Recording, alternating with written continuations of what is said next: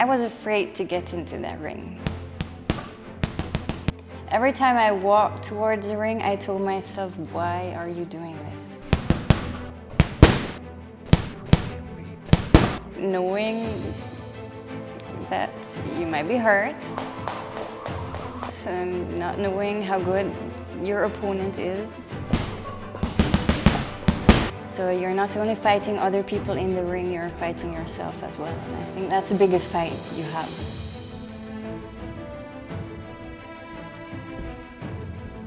Your mindset needs to be ready. Your body needs to be ready.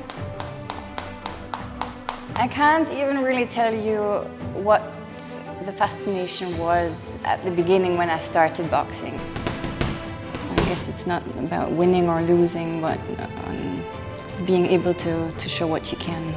I think you really have to box to experience that fascination. You just learn a lot for your life. Now I think I'm at, at a different point. I don't enter the ring anymore with fear. I think fear took away a lot of my energy.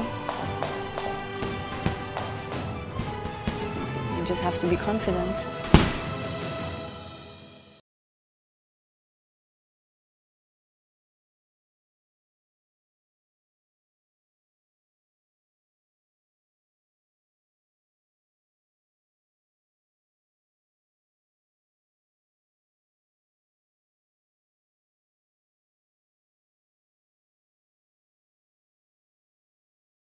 It made me stronger in many parts of my life, I'm sure.